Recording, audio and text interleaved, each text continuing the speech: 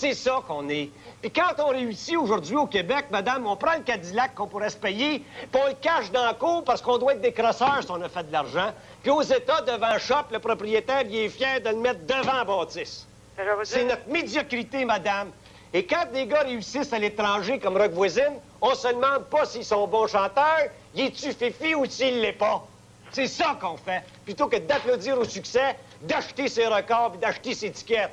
Mais non, faites-les venir, des crèveuses. Une vieille affaire qui a 60 ans, qu'on fait venir ici, puis ah ouais, on remplit le Capitole. Dis-moi ce qui ne va pas.